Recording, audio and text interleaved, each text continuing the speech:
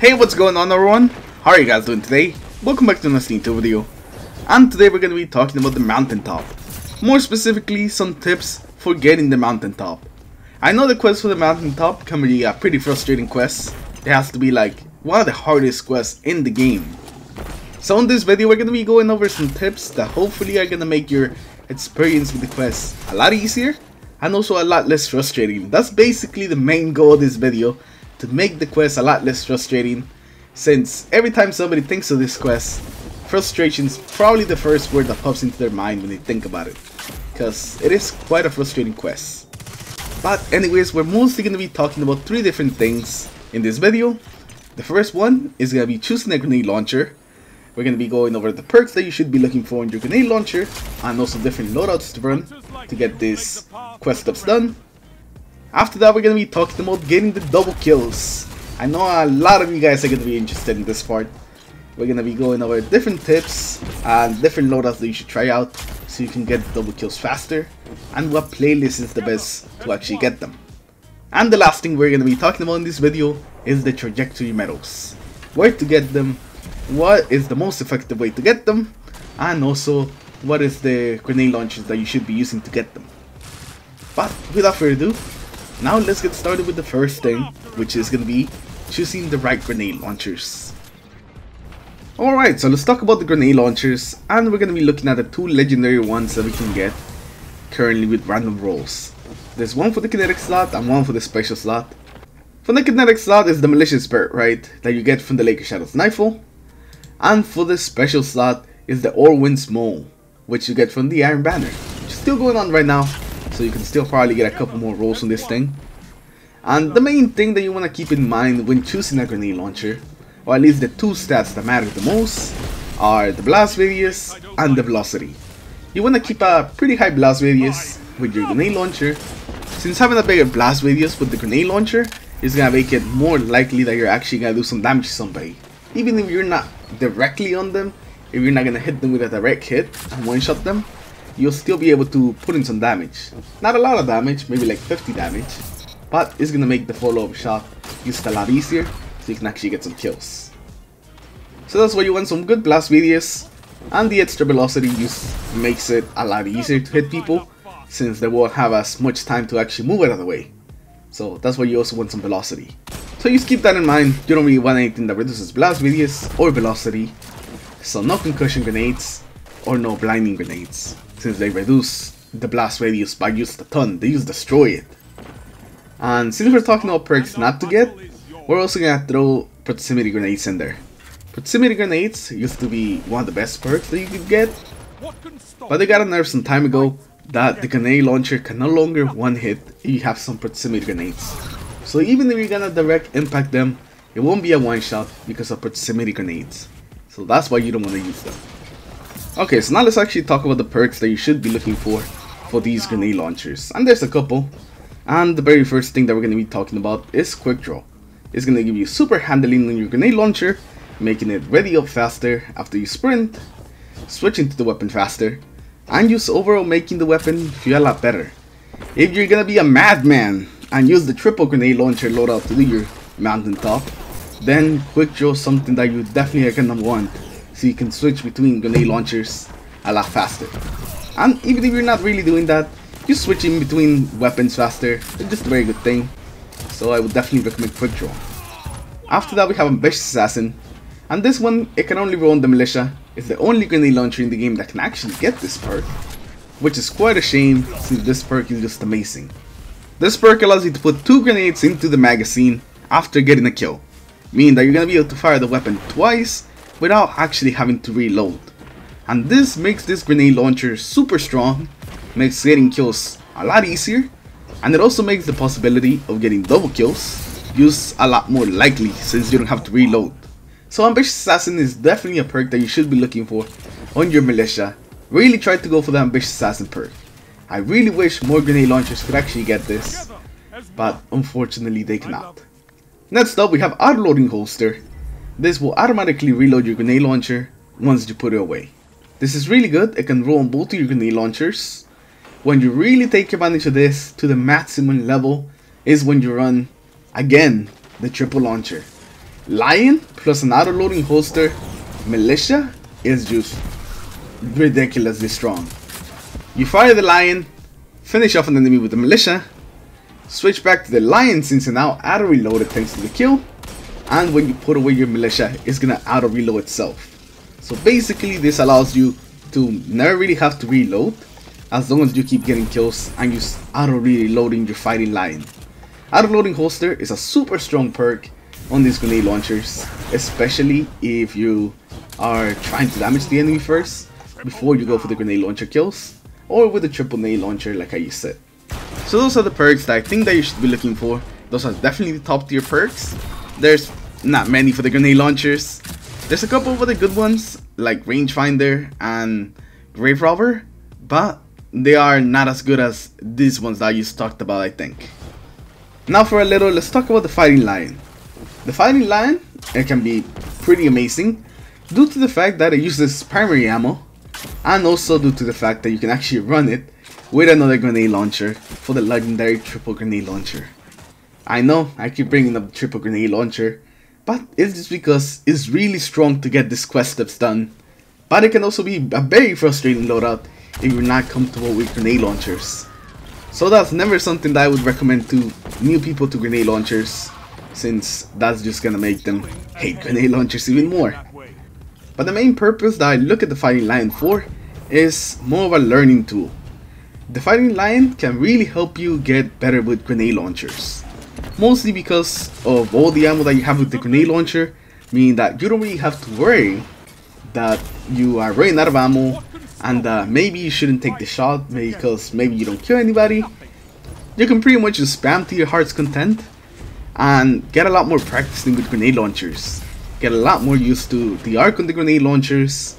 Get a lot more used to just air bursting the grenades, which is something that people at the beginning don't tend to do too often. That's basically the biggest thing that you want to get used to with the grenade launchers. Use the way they feel and air bursting with them. So even if you miss, you can still get a bit of damage in. So the second shot will actually finish them off. So if you're new to the grenade launchers, the fighting lion is going to be your friend and is what's going to teach you the way of the grenade launcher. So put it on and just mess around with it. Alright, so now let's talk about the double kills. This is definitely the step that's going to take the longest. And your best bet for this one is going to be the heavy grenade launchers. And basically, there's not much I can say about the heavy grenade launchers. You just need some blast radius, and basically you just need the high ground. The high ground makes it a lot easier to actually be able to kill them or kill someone effectively with a grenade launcher. Jumping on top of them and just firing down, it's a very easy way to get one or two kills. The colony is what really sticks out to me and the thing that helped me get all my double kills. The colony is amazing for getting the double kills. Something that you will have to do with the colony is basically having no regard for your life. If you really want those double kills, you will look past your KD for a second and you will do anything to get those double kills, including running into the enemy spawn, spamming all 5 colony shots, and getting 2 or 3 people. And that's basically what I did, and I got my double kills done really quickly.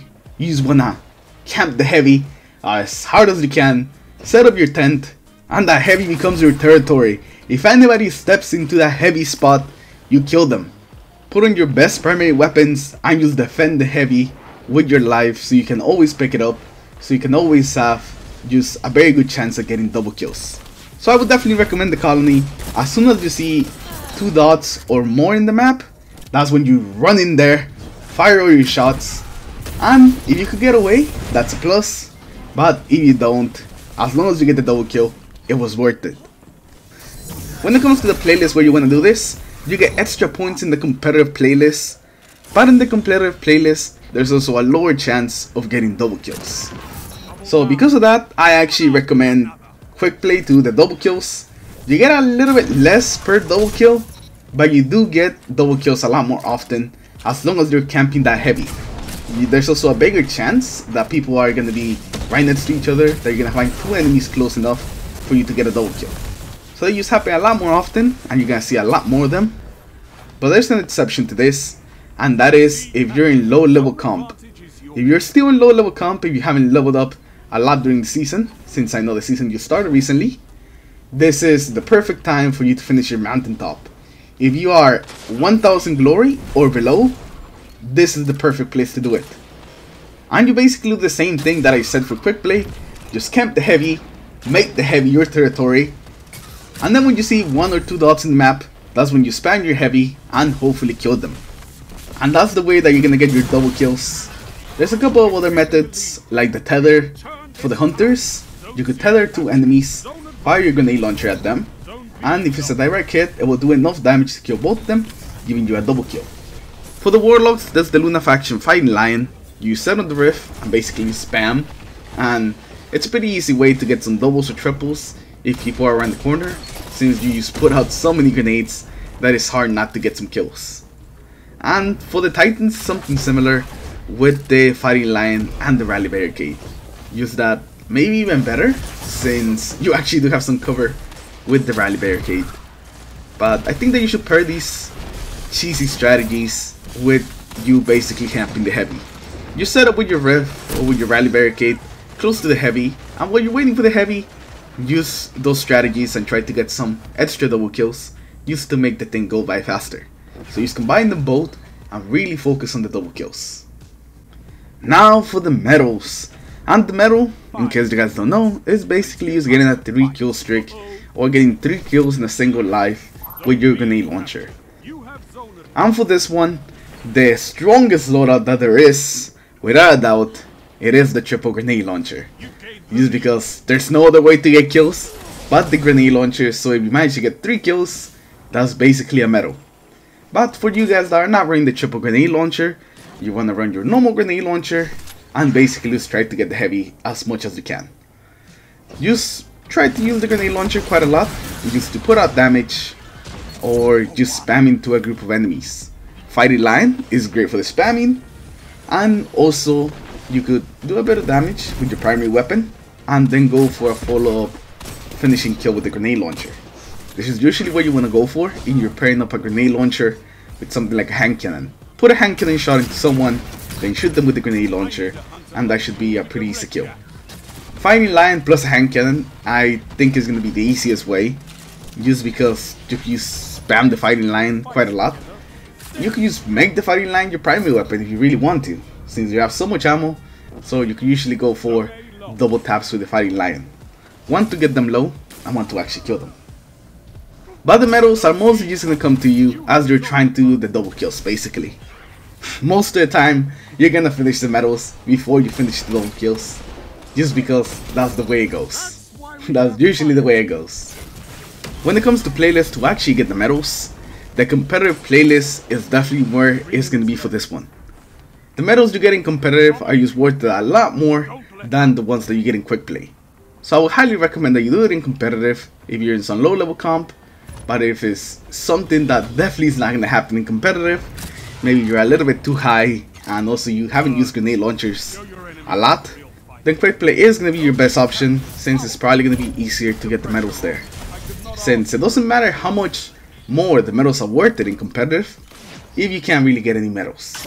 So just choose the one that you think that you're going to get the most medals in and that should be basically how you finish this part of the quest. But anyways guys, with that we're gonna end today's video. Hopefully this video has helped you learn something and hopefully you will actually get the mountaintop soon. If you enjoyed the video, leave a like on the video, subscribe to the channel in case you guys haven't already. If you think somebody else may find this video useful, make sure to share it with them. Anyways, thank you all for watching today's video, and I'll see you guys in the next one. Take care everyone, have a good day.